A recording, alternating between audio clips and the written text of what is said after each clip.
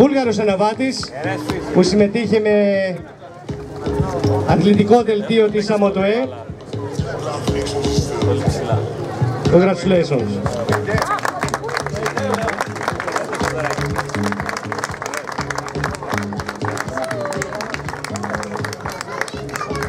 Ήταν δύσκολες συνθήκες και για αυτόν βέβαια. Παρ' όλα αυτά τα κατάφερε. Συγχαρητήρια.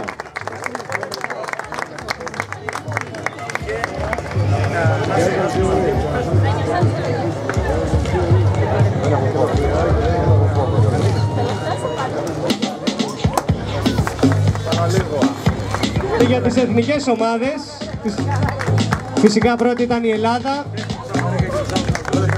και παρακαλούμε όλους τους Έλληνες αναβάτες που συμμετείχαν και είναι εδώ να έρθουν να ανέβουν όλοι μαζί στο βάθρο.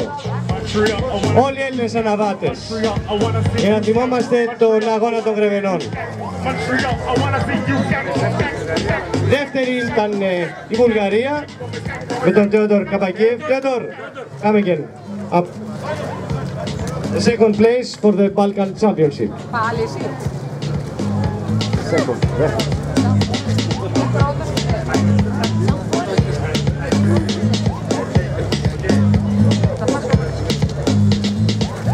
Παρακαλούμε όλους τους Έλληνες αναβάτες που είναι εδώ να δώσουν το παρόν στο βάθρο και ο Χρήστος ο Κερτσούδης.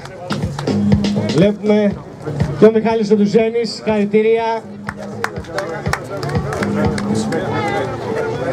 Πάνος ο Κακολύρης είναι εδώ. Συγχαρητήρια σε όλους σας παιδιά, ευχαριστούμε πολύ.